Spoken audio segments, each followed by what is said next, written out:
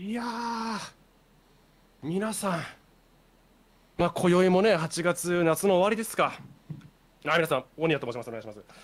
8月24日ということで、まあ、夏の終わりですよ。そろそろね、外も涼しくなってきて。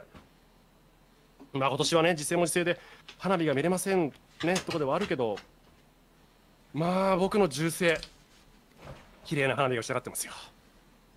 少々、ダメージが大きいですけどね。一発58。いや、この脳汁、濃いな。いやまあ、涼しみながら、このエイペックス、男同士の、そして女性もいてね、いろんなみんなが使うキャラがいる中で、まあ、ぶつかりを白熱する。どこかで皆さんも涼しみを感じてほしいなと思ってますが。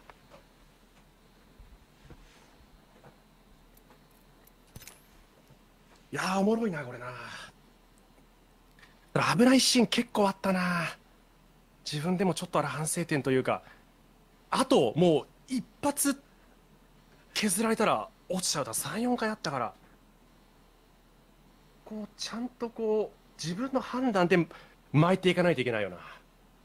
あれをやっぱ巻いてって言われて、巻くのと自分の判断で巻くってすごい差がある。もう巻いていいんだ。もう巻いていいんだってその状況で負けるから初めてそれによってもう対面の敵のみに対応できる。オーダーありきそしてカバーありきっていうのを痛感しますね。このゲームは。いや想像以上に深いなアイベックスも。ただねやっぱり悔しいのはあと一発っていうシーンが多いんだよな。あの一発出ない。で敵に切りパクされたりってこれは結局本戦だとキルポイントも入ってくるわけでしょ。僕が敵にキルポイントを手伝わしてしまってるってのがマジですげえ反省点。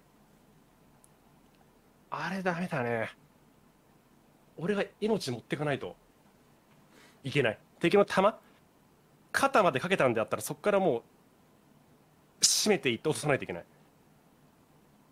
季節じゃダメだよな。箱にしないと。箱にしないといけない。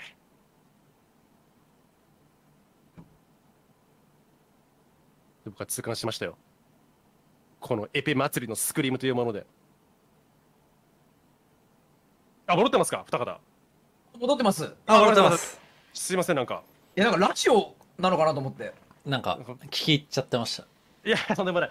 すいませんなんかため込んだものが、うんまだ初日なのに逆に良かったです。初日だからこそ。